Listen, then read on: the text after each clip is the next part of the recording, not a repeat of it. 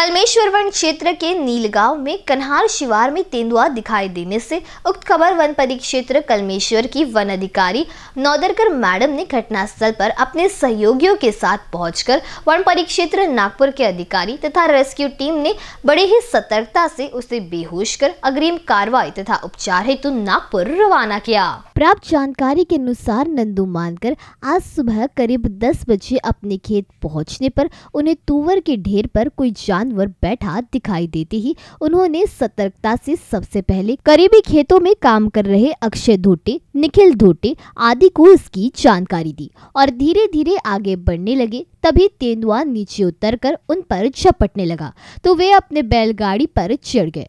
तब तक आसपास के खेतों में काम कर रहे करण आखरे, आदित्य वानखेड़े आदि किसान पहुंचकर हो हल्ला करने पर उक्त तेंदुआ पास की झाड़ियों में छिप गया।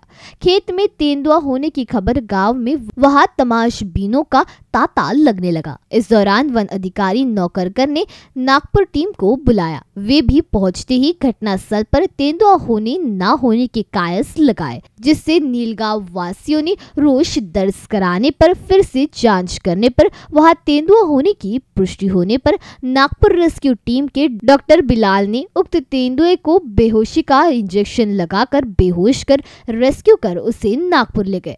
उक्त तेंदुआ देखने पर वो बीमार होने के कायस लगाए जा रहे हैं। उसे आगे का इलाज कर तबियत सुधरने पर उसे फिर वन परिक्षेत्र में छोड़े जाने की बात की। रेस्क्यू टीम के डॉक्टर बिलाल, अनिल खड़तकर आदि के साथ सामनेर पुलिस के एएसआई हिमंत राठौड़ा, धापेवाड़ा बिज हवलदार संजय शिंदे तथा कलमेश्वर वन परिक्षेत्र के अधिकारी कर्मचारियों ने भाग लिया।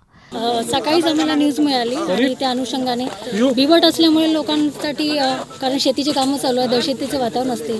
गरीब कास्तकार मजुरी करायला जेव्हा शेतात येतात तेव्हा जर अशी बातमी असली की बिबट आहे तर जीवाच्या राखाने कास्तकारीची कामं नाही होणार आणि बळीराजा आपल्याचं पालन करत आहे तोच जर काम नाही करेल तर आपण खायचं काय? म्हणून त्यांना दहशतीतून मुक्त करण्यासाठी सकाळपासनं बिवट हा सेंटर गव्हर्नमेंटचे आदेश लागतात आणि तो जखमी आहे काय आहे सगळं माहिती कळून त्याच्या वयाच्या मानाने वय काय आहे लिंग काय आहे त्याच्या अनुषंगाने त्याला ट्रीटमेंट द्यावी लागते. त्या अनुषंगाने सकाळी जेव्हा माहिती मिळाली त्याचबरोबर आम्ही टी टी सी आपलं जे बचाव कार्य करते उपचाराचं आणि बचावाचं. त्यांच्याशी संपर्क साधण्यात आला.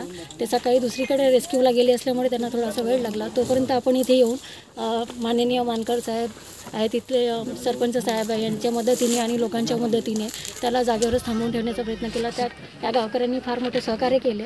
आणि त्यानंतर जेव्हा टी टी सीची टीम आली डॉक्टर बिलाल आलेत मयूर पाटील सर आलेत आमचा पूर्ण स्टाफ आला आणि तुम्ही पण आणि पोलीस डिपार्टमेंट आले सामनेवरून त्यांच्या मदतीने अतिशय उत्तमपणे आपला रेस्क्यू झाला. थोडासा वेळ लागला परंतु आज पिवटही सुखरूप आहे आणि जनताही सुखरूप आहे. बीसीएन न्यूज के लिए सावनेर से किशोर डुंडुले की रिपोर्ट